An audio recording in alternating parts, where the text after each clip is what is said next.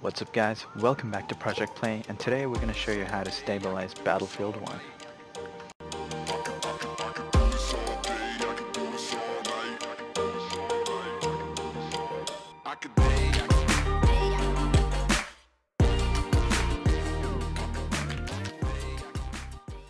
Alright, first of all we're going to download this tool called a CPU core Unparker and we're going to use it to unpark our CPU code. It's going to help us reduce some of that stuttering in the game and I'll walk you through how to do this. Once you download it, just extract the file and open it and run this executable in administrator mode and what you want to do is click on check status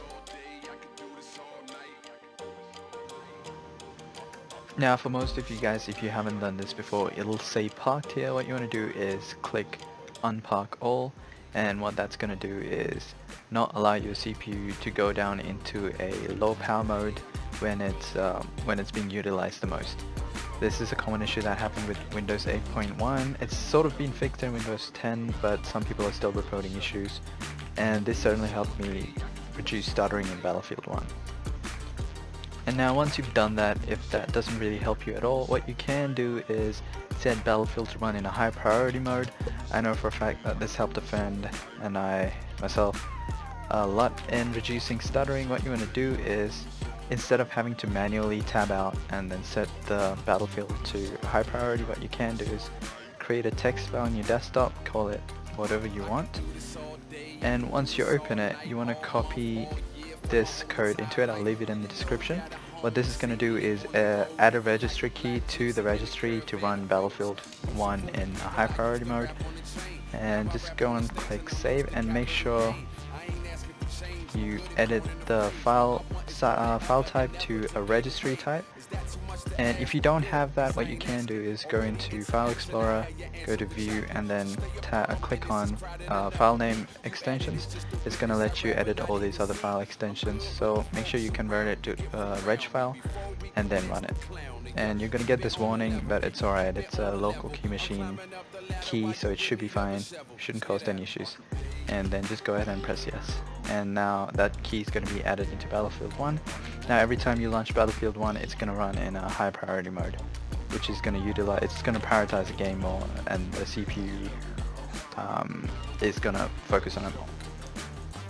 So if those don't help you what you can always try is go into your NVIDIA control panel wait for it to load and go set use advanced 3D image settings and then go there what you can do is select the Battlefield 1 executable in here. Uh, if you can't find it here, you can always go in here. These are all your recently file, um, programs. And if it's not here, either you can browse into the directory, which should be, for me, it's in C, uh, program x86, uh, Origin Games, Battlefield 1, and there it is. You can just double click on it to add it.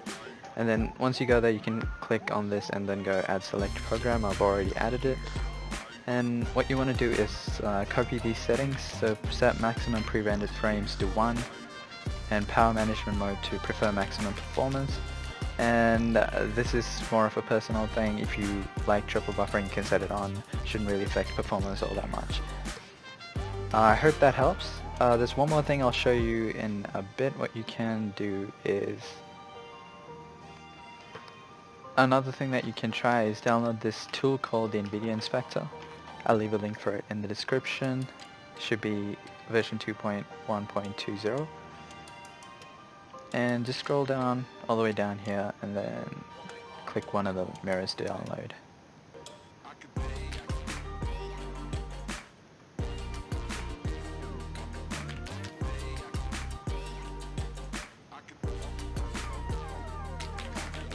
And once you've downloaded it, open it up and um, extract the files.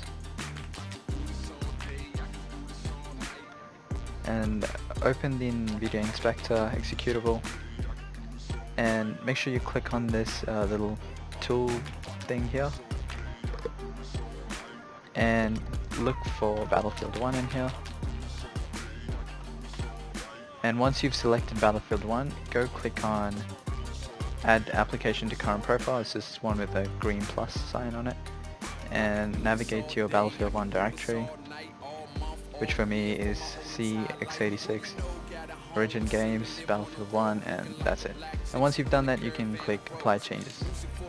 And once all that's done, you can just back out of this, and you should be good. Alright guys, that's all I got for you today. I hope that helps. If you still have issues, uh, feel free to leave a comment down in the description. I'll see what I can do about it. I hope you enjoyed the video. Leave a like if you did. I'll see you in the next one.